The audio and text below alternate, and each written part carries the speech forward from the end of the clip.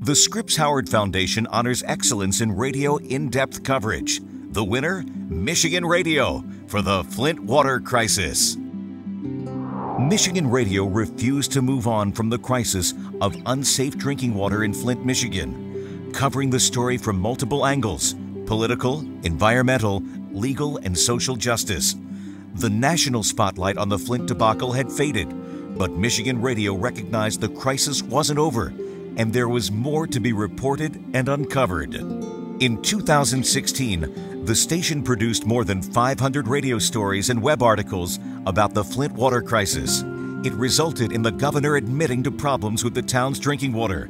Numerous state and local officials have since been charged with felony level crimes. The fact that Michigan Radio kept on it all long after anyone else would have probably given up and gone home uh, really spoke to us as evidence of the highest aspirations of journalism.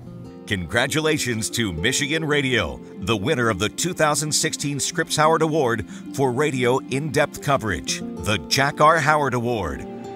And presenting the Jack R. Howard Award for radio in depth coverage and a $10,000 check is Pam Howard, daughter of Jack Howard and trustee emeritus of the Scripps Howard Foundation.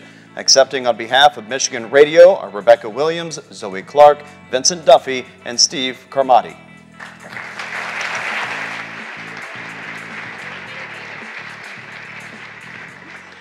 Thank you so much to the Scripps Howard Foundation for this amazing honor. This award belongs to our whole newsroom at Michigan Radio, our entire staff.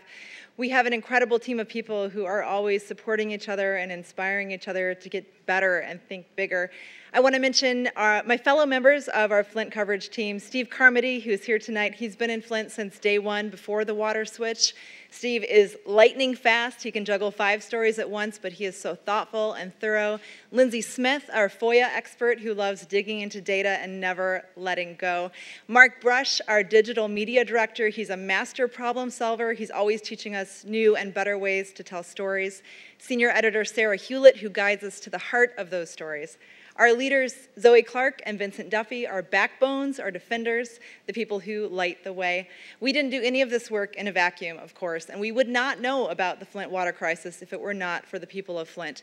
People who went to public meetings with jugs of brown water, mothers who never stopped fighting for answers to what was happening to their children.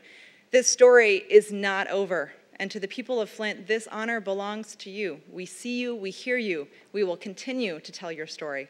Thank you.